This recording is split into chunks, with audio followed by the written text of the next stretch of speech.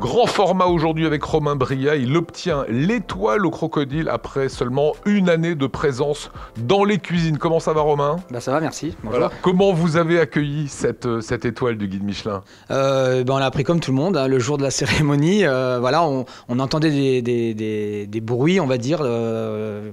qui peut-être disaient que le crocodile était étoilé, on n'y croyait pas forcément, parce que malgré tout, avec tout ce qui s'est passé, c'était un peu compliqué, on a quand même beaucoup travaillé pour ça, mais ce n'était pas notre, notre priorité en fait. Il n'y a pas une seule seconde où cette année vous avez dit je vais avoir l'étoile à la fin de l'année Alors déjà, j'ai pas dit je, j'ai dit on, parce que c'est un travail d'équipe, euh, que ce soit en cuisine ou en salle ou en sommellerie, pâtisserie. Euh, mais par contre, on y a pensé à un moment donné, peut-être furtivement, mais c'était pas la priorité. Alors vous rentrez dans les pas d'Emile Young, il faut être clair. Hein. Euh, c'est beaucoup dire parce que Emile Young c'était quand même euh, un grand personnage de la cuisine et puis autre même qui a apporté beaucoup à Strasbourg. Mais euh, oui, on, a ramené une belle étoile un an après son, malheureux décès.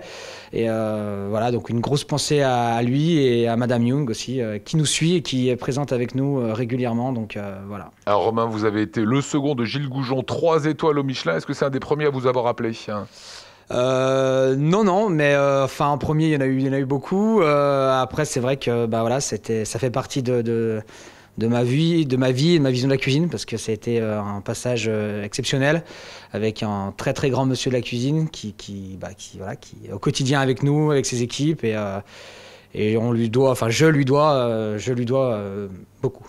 Alors parlez-nous de votre cuisine. C'est quoi pour celles et ceux qui l'ont pas encore goûté? J'espère qu'ils vont venir rapidement. Hein, dès que ça sera ouvert. Comment, comment vous la racontez? Comment vous la définissez votre cuisine? Euh, J'ai envie de dire une cuisine de, une cuisine de goût. C'est dur Moi je trouve que c'est dur d'analyser sa cuisine. Après euh, chacun fait son interprétation. Euh, nous ce qu'on aime c'est voilà, c'est les beaux produits, être proche des, fournisseurs et puis après mettre en valeur les produits. Nous on interprète et puis après on a notre vision mais après voilà je, je pense qu'il faut jouer, jouer surtout sur les goûts et, euh, une fois de plus, c'est les produits qui, après, qui donnent le ton. Quoi. Alors le crocodile récupère une étoile, voilà, c'est reparti maintenant au centre de Strasbourg. Qu'est-ce que ça va changer pour les, futurs clients?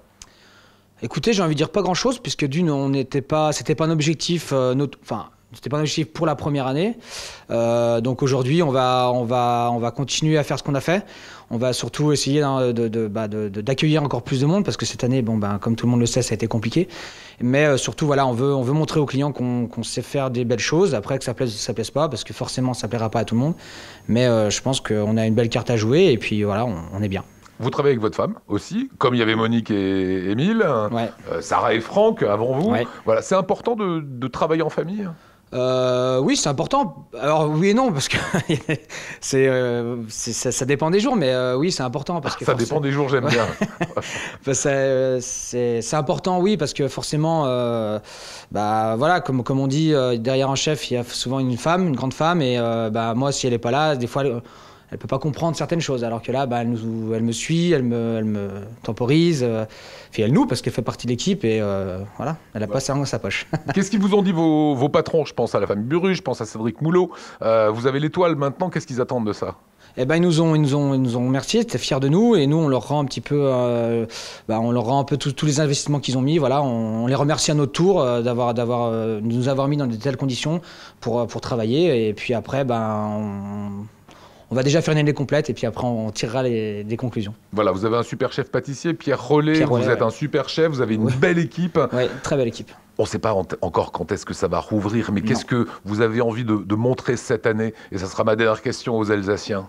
Eh ben, on a envie de montrer que l'étoile n'a pas été volée, voilà, que, faire taire certaines mauvaises langues, et puis euh, montrer que effectivement, bah voilà, notre étoile est bien accrochée ici, et puis euh, voilà, montrer qu'on, sait faire de la, belle cuisine, du beau service, de bel accueil, et qu'on a notre place euh, parmi les Strasbourgeois.